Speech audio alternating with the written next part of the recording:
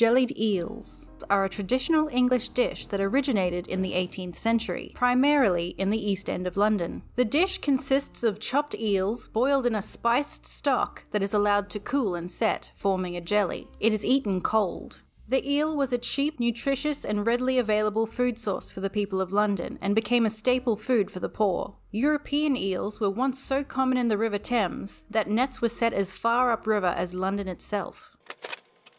The earliest known eel, pie, and mash houses opened in London in the 18th century, and the oldest surviving shop, M. Manze, has been open since 1902. At the end of the Second World War, there was around 100 eel pie and mash houses in London. Now there are very few, although jellied eels are sold in some of the capital's delicatessen shops and supermarkets.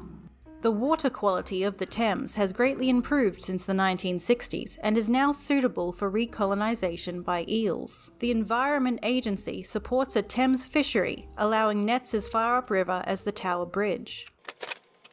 The dish is traditionally prepared using the freshwater eels native to Britain. Typically, the eels are chopped into rounds, also known as shucking, and boiled in a mixture of water, vinegar, nutmeg, and lemon juice to make a fish stock. The eel is a naturally gelatinous fish, so the cooking process releases proteins, like collagen, into the liquid which solidify upon cooling to form a jelly, though gelatin may be added in order to aid this process. Recipes for jellied eels are individual to particular London pie and mash shops, and also street sellers. However, traditional recipes for authentic Victorian jellied eels all have common ingredients and cooking methods. What varies is the choice of herbs and spices used to flavour the dish. Jellied eels are often sold with pie and mash, another traditional East End food, and eaten with chili vinegar or with malt vinegar and white pepper.